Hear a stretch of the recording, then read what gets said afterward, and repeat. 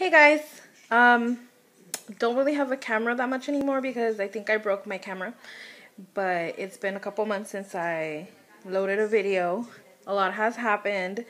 Um, David, Julio, and I don't live together anymore. We moved out to Southgate, and then um, my relationship with Ronald became um, more serious. So we moved out together. So uh, we started living in Hawthorne and this is our second apartment if you guys want to see. It's pretty okay place. I like it better than our first apartment.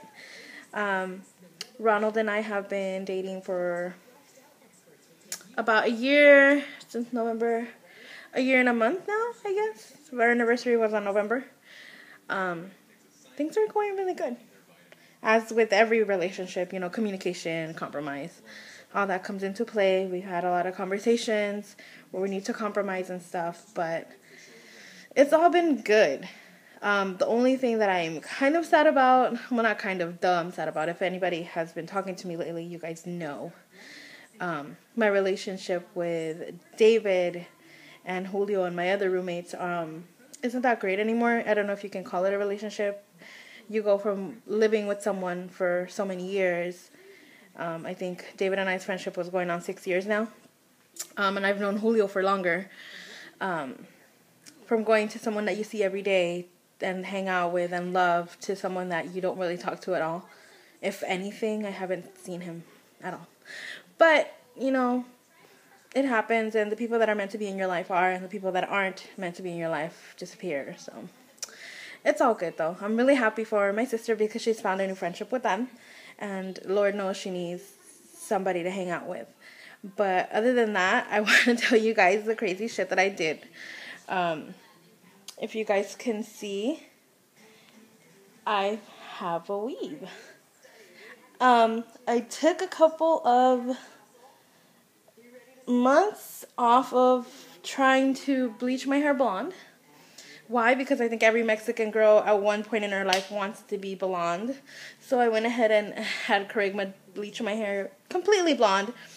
And yeah, um, the angles are kind of weird because I'm with the iPad videotaping because I said I don't have a camera anymore. I don't know where it is. but um, yeah, I went blonde for a couple months and I, yeah, it's the worst decision ever because it really fucked up my hair.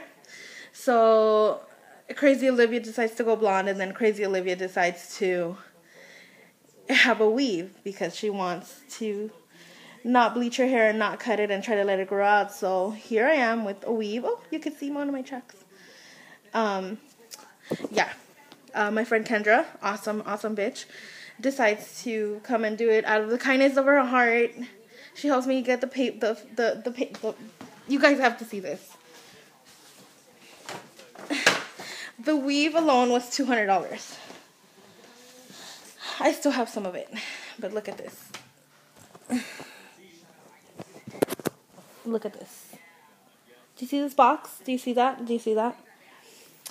Oh, and it also comes with this in this pretty box. Well, bag. $200. Two. $200. Just for the hair for 18 inches. No, no, no, no. 12 inches and 14 inches. So I get both sizes to have like layers. And then it took maybe four to five hours to sew in, to braid and sew in. Oh, my friend is so awesome because she fucking did it for free. It's a $200 sew job, you know?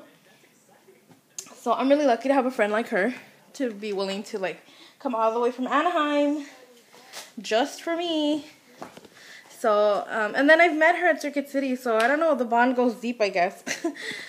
but another thing that happened is, you know, when I finished the P90X with David and Julio, I met, Da- I met, blah, blah, blah, blah. Sorry, guys.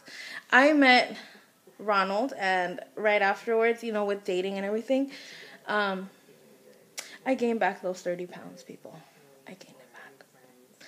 So right now, what I'm trying to do is not dye my hair um, and lose the weight that I gained and then some because it's time, people.